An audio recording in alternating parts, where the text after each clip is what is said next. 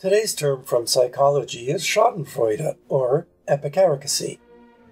Schadenfreude is the German word for that feeling of joy or self satisfaction that you get from someone else's troubles or failures.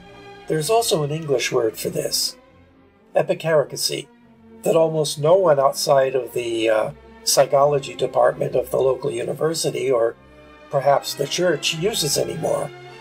You see, during the Middle Ages, the Church considered epicaricacy to be a sin.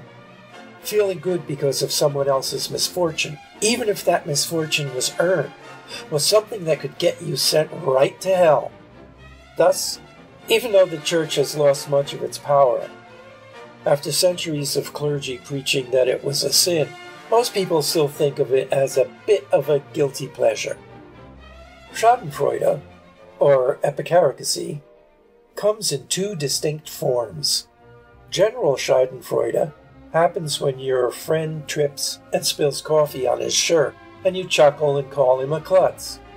If your boss is the one spilling the coffee, you might not chuckle out loud, but you still think to yourself that it was funny, and he's a klutz.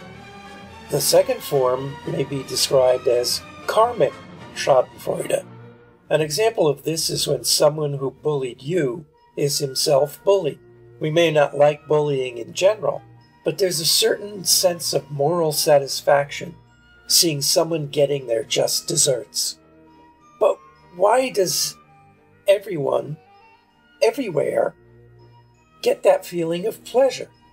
Well, it seems that there's a part of our brain that really does get turned on and rewards us with a shot of dopamine that floods the emotional rewards portion of our brain, giving a very real sensation of physical pleasure.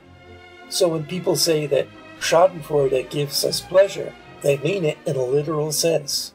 And this is a psychological reason so many people like slapstick comedy. So remember the next time you see someone trip over something and fall on their ass, it's completely natural to laugh.